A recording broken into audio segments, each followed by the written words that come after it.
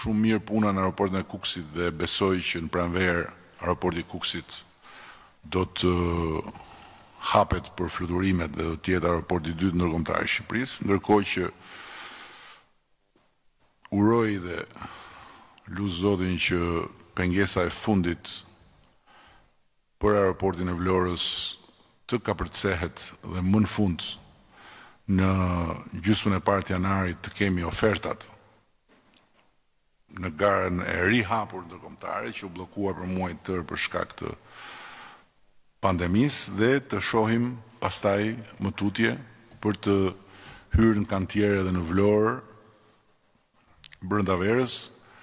në mënyrë që të garantojmë më në fund edhe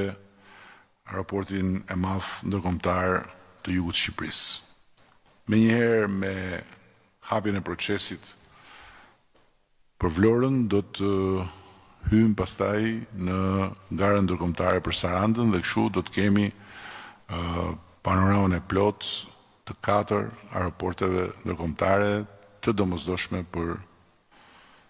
të zhvilluar si duhet turizmin dhe për të hyrë si duhet në këtë dekadë të re të këtij shekulli. Për transportin detar e dini që më e rëndësishmja është marrëveshja e nënshkruar me Qeverinë e Emirateve të Bashkuara për transformimin e portit aktual të Durrësit në një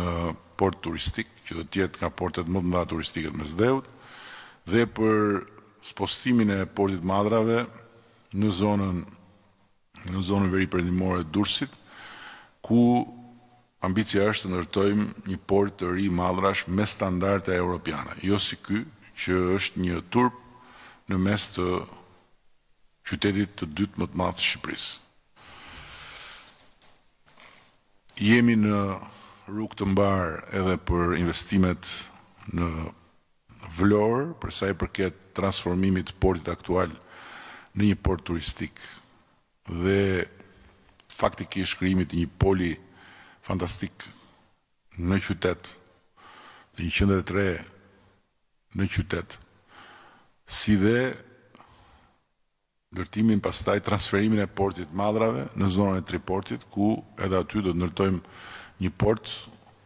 më të vogël sigurisht në kapacitete sesa i Durrësit por me standarde europiane për mallrat dhe duke përfshirë edhe më në fund zgjidhjen për portin e peshkimit.